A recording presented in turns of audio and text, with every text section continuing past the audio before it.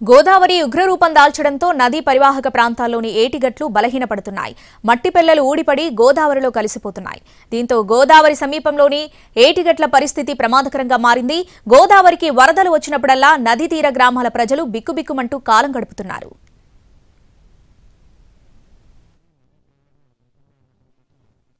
గ్రామాల్లోని గట్లన్నీ కూడా కోతకు గురి కావడం జరుగుతున్నది. ఇక్కడ మనం చూసినట్లయితే రా రాజమండ్రి కానీ రాజమండ్రి చుట్టుపక్కల ప్రాంతాల్లో ఉన్న అన్ని ప్రాంతాల్లోని కూడా గోదావరి నది పరివాహక ప్రాంతాలన్నింటినీ కూడా అండాండలుగా ఈ కోతకు గురి కావడం జరుగుతున్నది. దీంతో వందల ఎకరాలన్నీ కూడా ప్రతిసారి వ- వరదలు వచ్చిన సమయంలోని ఇక్కడ గోదావరిలో కలిసిపోవడం జరుగుతుంది. దీంతో వాళ్ళందరూ కూడా పొలాలు అవన్నీ కూడా కోల్పోతున్న రైతులు కూడా చాలామంది ఇబ్బందులు పడుతున్నారు. ఇక్కడ చూసినట్లయితే ఇక్కడ ఏ విధంగా అండండలుగా పడిపోతుందో చూడవచ్చు ఇక్కడ గోదావరికి సంబంధించి గోదావరి వరద వృద్ధి పెరిగే కొలది కూడా ఈ కెరటాల తాకిడికి ఇదంతా కూడా ఈ ఈ అండలు అండలుగా ఇవన్నీ కూడా పడిపోవడం జరుగుతున్నది. దీంతో గోదావరి గట్లన్నీ కూడా బలహీనపడటం జరుగుతుంది.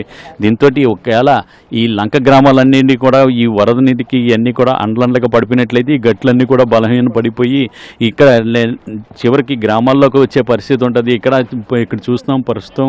ఇక్కడ బడుగువాన్ లంక దగ్గర చూసినట్లయితే ఈ బడుగువాన్ లంక నుంచి మొలకల మొలకల లంకకి మధ్య మధ్యలోని చిన్న కాలం ఉండేది. ఈ కాలం అనేది ఇప్పుడు వరకు చూసినట్లయితే ఇది మొత్తం విస్తరించి ఇక్కడ ఇప్పుడు ఈ చూసినట్లయితే ఇక్కడ చాలా దూరం వరకు కూడా ఈ కాలం పెద్దదైపోయి ఇక్కడ అంతా కూడా గట్లన్నీ కూడా పడిపోతున్న పరిస్థితి. ఇదే విధంగా ఈ ఇంకా ఈ కోనసీమ జిల్లాలో చూసినట్లయితే అక్కడ అంబేద్కర్ కోనసీమ జిల్లాలో కూడా చాలా వాటి దగ్గర మడికి ప్రాంతంలో కానీ బడుగువన్ లంక ఈ ప్రాంతాల్లో చూసినట్లయితే అక్కడ కూడా ఈ కొత్తపేట నియోజకవర్గానికి సంబంధించి చాలా చోట్ల ఈ విధంగానే ఆ లంక గ్రామాల్లో ఉన్న గట్లన్నీ కూడా ఈ విధంగానే కలిసిపోయి అండ్లండ్లగా పడిపోవడంతో ఆ గ్రామాల్లోని కూడా కూడా వందలాది ఎకరాలన్నీ కూడా నీట మునిగిపోవడం పరి పరిస్థితి చూస్తున్నాం. ఇలాగ విధంగానే కూరగాయల తోటలు కానీ పంటలు కానీ ఇవన్నీ కూడా ఇంట్లో కలిసిపోవడంతో పం ఇంట్లో పొలాలు అంటే కూడా తగ్గిపోతున్న పరి- పరిస్థితి నెలకొన్నది.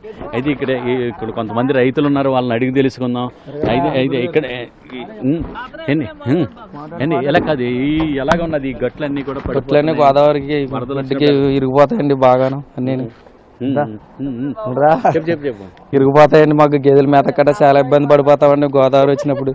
ఈ గోదావరి వచ్చినప్పుడు ఇబ్బంది అండి బాగాను. ఈ రోడ్లు గట్ట కొట్టేసేయండి మాకు అన్ని ఇబ్బందిగా ఉంటాయండి అంటే పొలాలు అన్ని కూడా పొలాలు అన్ని తగ్గిపోతాయి, తగ్గిపోతాయండి. తగ్గిపోతాయండి ఉండి కొద్ది క్రమక్రమంగా తగ్గిపోతుందండి ఇప్పుడు చూసినట్లయితే ఈ గోదావరి నది ప్రవాహానికి ఇక్కడ ఏటిగట్లన్నీ కూడా మొత్తం కొట్టుకుపోవడం పరి- పరిస్థితి ఉన్నది. అండ్లండ్లుగా ఈ ఈ మట్టి అంతా కూడా గట్టు మట్టిలన్నీ కూడా తెగిపోయి ఇవన్నీ కూడా గోదావరిలో కలిసిపోతున్నాయి. దీంతో వందలాది ఎకరాలన్నీ కూడా గోదావరిలో కలిసిపోతున్న పరిస్థితి. ప్రతి వరదల సమయంలోని కూడా ఇదే పరిస్థితి ఉన్నది నే- స- ప్రతి సంవత్సరం కూడా వందలాది ఎకరాలన్నీ కూడా తగ్గిపోతున్నాయి. భూభాగం అంతా కూడా తగ్గిపోయి చాలా నష్టాలు ఎదుర్కొంటున్నామని చెప్పి రైతులు వాపోవడం జరుగుతుంది. కెమెరామెన్ వాసుతో శ్రీనివాస్ ఎన్టీవీ ములకలంక.